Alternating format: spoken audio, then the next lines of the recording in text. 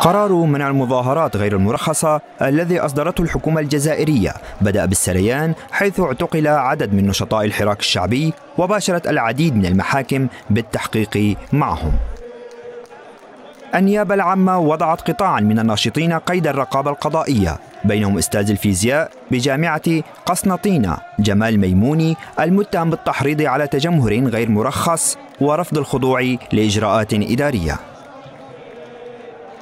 اللجنة الوطنية للإفراج عن المعتقلين أعلنت أن أكثر من عشرة أساتذة جامعة اعتقلوا وجرى تقديم بعضهم للنيابة وقضاة التحقيق فيما تم تمديد التوقيف تحت النظر لآخرين.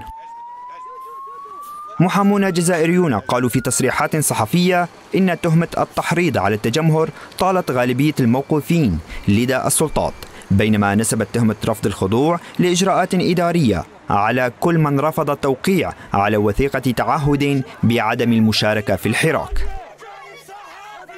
وأشارت النيابة العامة بمحكمة سطيف أنه تم استجواب 24 معتقلا تسعة منهم تفوق أعمارهم 70 سنة.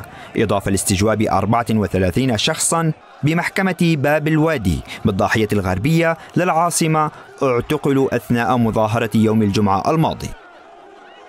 وفي وقت سابق أعلنت وزارة الداخلية الجزائرية فرض قيود صارمة متعلقة بمنح التراخيص لخروج المسيرات الشعبية التي تحولت منذ عام 2019 إلى عادة دائمة كل يومي جمعة وثلاثاء من كل أسبوع.